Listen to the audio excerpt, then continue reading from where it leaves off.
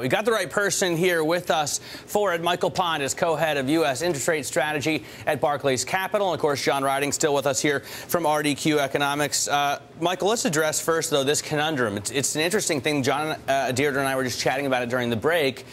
Uh, when it's risk off, you go to your safe haven, which is treasuries, cash, same thing, treasuries. Uh, what, do, what do you do when treasuries are the risk? Absolutely. So bond market investors are sort of uh, stuck like a deer in the headlights right now. Yields really haven't gone anywhere since early June, stuck in this right, right around 3% on the 10 year. What has been happening is the yield curve has been steepening as investors shed 30 year notes because of credit risk, but are flocking into the front end of the Treasury market because of that safe haven bid that you just mentioned.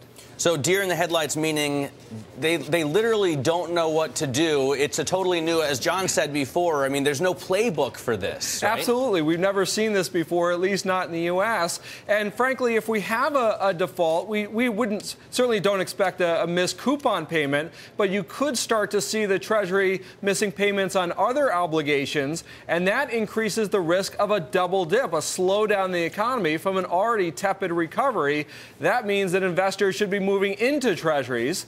But on the other hand, there's a strong risk of a downgrade, and that means investors should be moving out of treasuries. So what we're seeing is investors move out of the long end and into the front end, hence a, a curve steepener rather than just an, an outright sell off or rally here. John, what do you think? I mean, clearly you've spent some time thinking about this as well.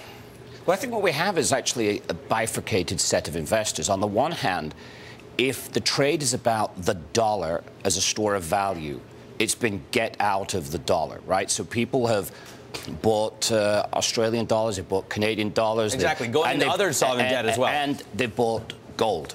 When gold has been the ultimate trade here, it can't default. The Fed can't print any more of it, uh, and that's been a winning trade. And I expect gold will continue to run through uh, uh, these uh, problems and the easy money situation we're going to have. On the other hand, the equity markets 35 points from its high in the S&P. It's like there's nothing going on in the world, uh, and 10-year treasuries at 3%. So it's almost like there's two totally different sets of expectations, and they're certainly not congruent. They don't fit together for a, an easy market story, and it's because the well, I think because of this there's no playbook. As you said, there's no playbook for this, so it's a totally new situation. Sara Eisen has a question now from the newsroom. Sara? Well, Michael, this one's for you. Sure, there's Swiss francs and gold, but there's not much else to do for safety. Maybe investors just keep buying treasuries because they just can't wrap their idea around this and there's nowhere else to go. That's right, Sara. So, what we're hearing from large foreign investors is that while it, on a downgrade they might like to move away from treasuries,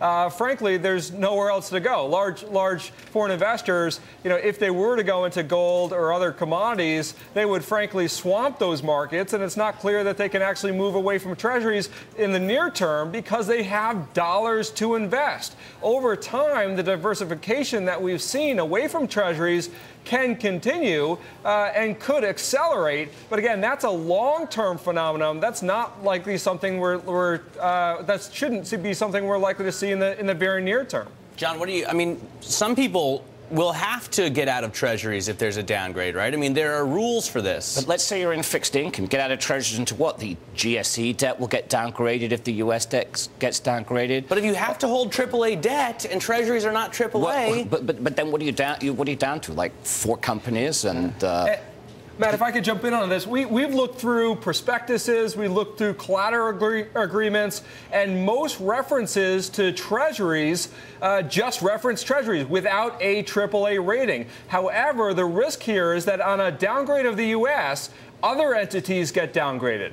Uh, so S&P has noted that they might downgrade Fannie and Freddie, they might downgrade insurance companies or other uh, entities that have ties to the U.S. And it's those entities where there's often a ratings attached to holdings. And so what we could see, again, ironically, is investors have to sell those assets and go into treasuries. Right, Michael. I mean, ratings is really just a relative game, right? And it's based around U.S. treasuries and the safety of U.S. government debt, which would suggest there won't be that much forced selling.